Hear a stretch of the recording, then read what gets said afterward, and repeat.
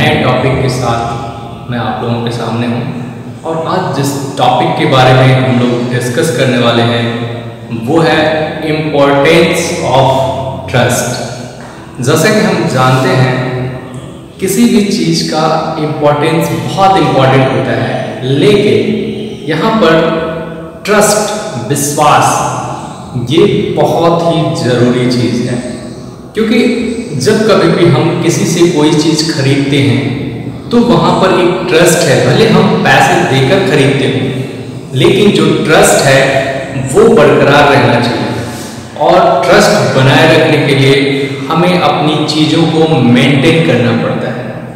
तो हम कैसे ट्रस्ट को बना के रख सकते हैं? हमारे गेस्ट के साथ, हमारे कलीग के साथ, हमारे सुपरवाइजर के साथ, जो ट्रस्ट है ट्रस्ट आपके बिज़नेस को आगे बढ़ाता है। जैसा एग्जांपल मैं देता हूँ आपको। सपोज़ आप किसी दुकान से कोई चीज़ खरीद कर लाते हैं।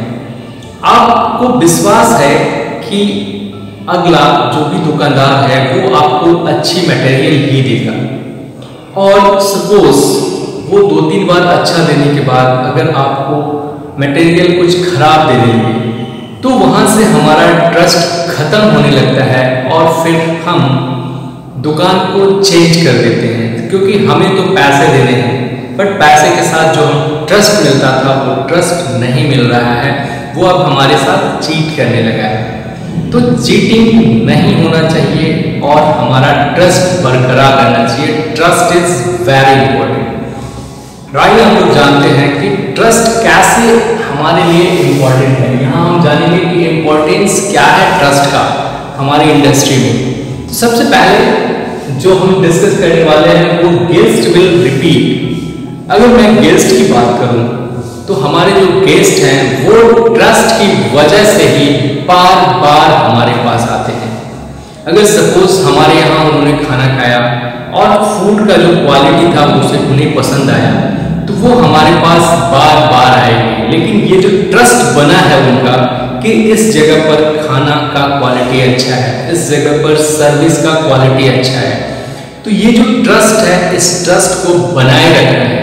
अगर हमने ये ट्रस्ट लूज किया it means we will lose the guest हमारे जो गेस्ट हैं, वो हमारे पास फिर से नहीं आएँगे। और this is very important that's why ये पॉइंट है गेस्ट विल रिपीट हमारे विश्वास, हमारे ट्रस्ट की हमारा जो वहाँ का चीज़ें हम बना करके जो देते हैं को सर्विस करते हैं तो सर्विस के दौरान हमारे स्टाफ बहुत ही क्लीन और हाइजीन को मेंटेन करते हैं। ठीक वैसे ही वहाँ का जो फ़ूड का टेस्ट है प्लस फ़ूड को बनाने के दौरान जो हाइजीन है, वो भी हम प्रॉपर मेंटेन करते हैं। तो ये जो ट्रस्ट है, ये बरकरार रहना बहुत ज़रूरी है। इससे क्या होंगे, हमारे जो गेस्ट हैं, वो बार बार रिपीट होंगे। और हमारा बिज़नेस बरकरार चलता रहेगा और आगे की तरफ़ बढ़ेगा। The next guest will recommend others obviously अगर ये ट्रस्ट है हमारे ऊपर गेस्ट का अगर हमारे ऑर्गेनाइजेशन के ऊपर ट्रस्ट है obviously organisation is a name but the main जो इस ट्रस्ट को बनाने के लिए जो लोग काम करते हैं, वो होते हैं वहाँ के स्टाफ यानी कि हम लोग। तो हम लोग ही ट्रस्ट बनाते हैं। लेकिन अगर हमारा किसी गेस्ट के साथ ट्रस्ट अगर खराब हो तो इसका क्या इफ़ेक्ट आएगा? वो जो है गेस्ट दूसरों से भी ये रिकमेंड करेंगे कि don't go to that place because वहाँ पर मैं पहली बार गया था तो ऐसा था बट उसके बाद ऐसे ऐसे फैसिलिटीज़ हैं तो वो अच्छा नहीं है, आप बेटर कहीं और चले जाओ.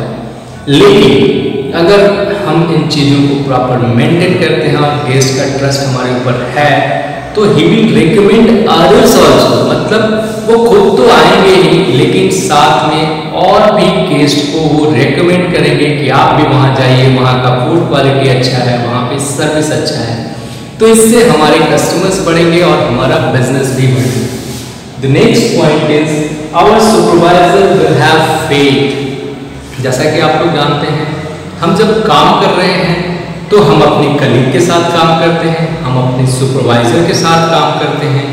तो अगर हम उन सारी स्टैंडर्ड वहाँ का जो भी हाइजीन स्टैंडर्ड हो या फिर अलग दूसरी स्टैंडर्ड है, अगर हम उसको मीट करते हैं, हम अगर अच्छे से फॉलो करते हैं तो हमारे जो सुपीरियर हमारे सुपरवाइजर या मैनेजर हैं, उनका भी हमारे ऊपर ट्रस्ट बनता है। And he will leave some of the things on us वो हमारे ऊपर छोड़ देंगे। कि हमें पता है ये लड़का अच्छा है, ये कर लेगा। तो वो जो ट्रस्ट है, वो ही ये कहता है कि ही विल डू इट और इसलिए हमारे सुपरवाइजर हम पर ट्रस्ट करके उनका काम निजी होता है और हमें सीखने का मौका मिलता है। The next point is good relation with our colleague तो हम जब कभी भी अगर हमारा ये ट्रस्ट बनाने के लिए ऐसा नहीं कि सिर्फ़ हम सर्विस अच्छी दे दें तो बहुत कुछ है। उसमें हमें बहुत सारी चीज़ों को मेंटेन करना पड़ता है। और इससे हमारा और हमारे कलिंग का जो फाउंडेशन है, वो बहुत अच्छा होता है। और जब हमारा फाउंडेशन अच्छा होगा तो ऑब्वियसली हमारे अंदर एक अच्छी ट्रस्ट आएगी और हम एक दूसरे को कॉपरेट करेंगे कोऑर्डिनेट करेंगे जस्ट बिकॉज़ इसलिए क्योंकि अगर आज हम किसी को कोऑर्डिनेट करते हैं कॉपरेट करते हैं तो मेरे प्रॉब्लम के टाइम पर वो भी मुझे कॉपरेट करेगा।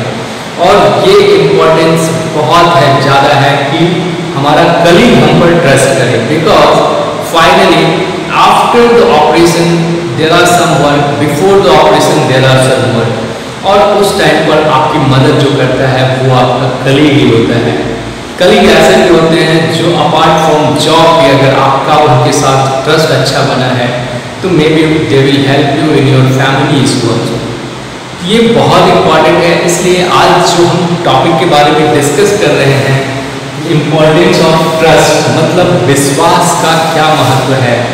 तो जैसा कि आप लोग जान रहे हैं कि जो ये दुनिया है, ये विश्वास पे चल रही है। और यहाँ हमारे यहाँ जो होते हैं, हमारे सुपरवाइजर होते हैं, हमारे कलीग होते हैं एंड हमारे गेस्ट होते हैं। और इन सबों के साथ हमारा जो विश्वास है, वो अच्छा बना के रखना है।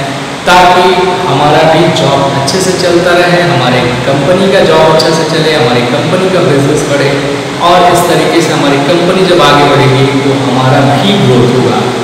हम स्टार्ट करेंगे एज ए ट्रेनिंग स्टीवर्ड फिर स्टीवर्ड फिर कैप्टन और ऐसे करके हमारा भी ग्रोथ होता चला जाएगा। तो मेक श्योर कि आप इस ट्रस्ट को बनाए रखें और जो इम्पोर्टेंस है ट्रस्ट का, इसको हमेशा अपने माइंड में याद रखें, ताकि आप एक अच्छा सर्विसमैन बन सकें, एक अच्छा होटेलियर बन सकें। आई होप आपको ये